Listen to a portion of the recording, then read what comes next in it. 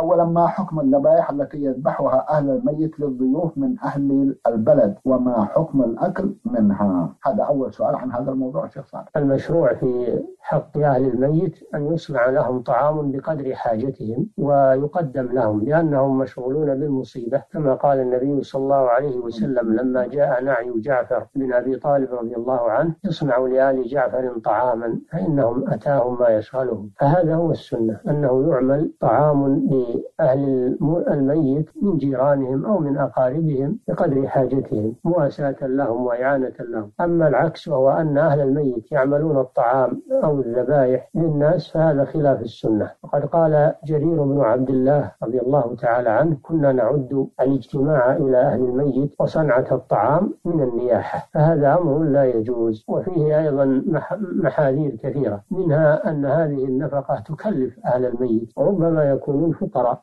وأيضا ربما تكون هذه النفقات من تركة الميت فيؤخذ من مال الورثة وربما يكون فيهم القصار الذين تؤخذ أموالهم بغير حق فلا يجوز مثل هذا العمل. وربما يكون على الميت ديون بحاجة إلى التسديد وهو مرتهن بديونه فتصرف هذه التركة في هذه البدع ويترك دين الميت عليه. الحاصل أن هذه أمور لا تجوز وحتى لو انتفت هذه المحاذير فإن هذا خلاف السنة. وهو أن يصنع الناس طعاما ويأتون به وهو أن أهل الميت يصنعون طعاما ويقدمونه للناس. إلا إذا كان أتاهم ضيوف لا بد من إتيانهم من أقاربهم وذويهم فلا بأس أن يصنعوا لهم طعاما بقدر حاجتهم. أما الإفاضة في هذا والمبالغة وعمل الولائم والحفلات فهذا أمر مخالف للشرع. نعم.